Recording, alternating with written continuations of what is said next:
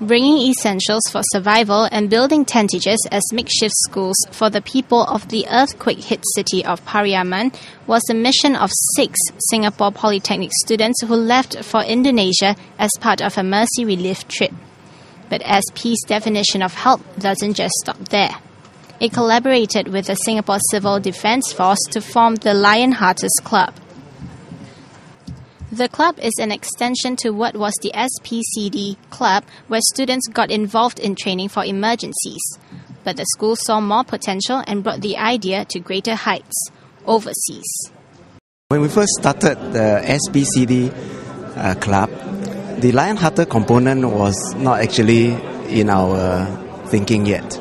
But as we work with uh, civil defense, we realized that very much of what they do also involve uh, overseas relief work, especially after a spate of uh, many big earthquakes around the region. So, because of that, we decided to focus also on overseas relief missions, and that very much become part of the SPCD Lionhearter Club. Back home in Singapore, the students also used their knowledge to educate other Singaporeans on how to react to emergencies and how to evacuate. In fact, 85 were awarded the Lionhearters logo and are ambassadors for their club. We train them to become uh, our CD ambassadors where they go around during the emergency preparedness days, EP days at the various communities and they, we showcase our tremolator and they help the residents to, how to react, what to do when there's a tremor, uh, when the tremor is experienced. And so uh, through case cases like that, we prepare them for these various emergency. So it's quite unique to this uh, club. Other clubs, they are more uh, towards their uh, own interest groups, but this club really uh, train them for, with skills and uh, knowledge that will prepare them uh, in times of emergency.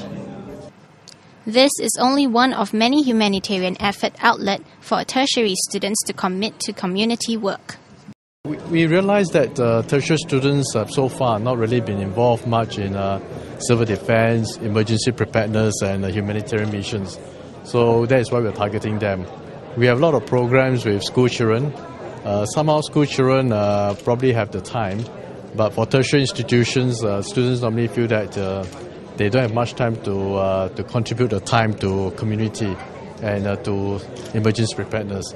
So we think we have found a way to engage them, and this is the way forward for us. Uh, I think it's a very good opportunity for myself to be able to go overseas and to see for myself what the situation is like uh, after a disaster, and also to help to help out those affected people.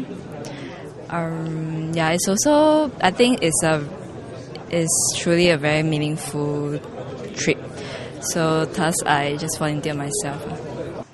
And no doubt it will change their outlook on life. I can be a more positive person through this experience because seeing the people affected by the situation there, they were still able to carry their life on as normal. I was touched by their really resilience attitude towards life. Um, they really want to survive and live their normal life again. Well, at the same time, they're also just selfless people who are willing to help out the others, although they are in the same situation. With the formation of the Lionhearters Club, the tradition of community work in Singapore Polytechnic looks set to continue for a long time.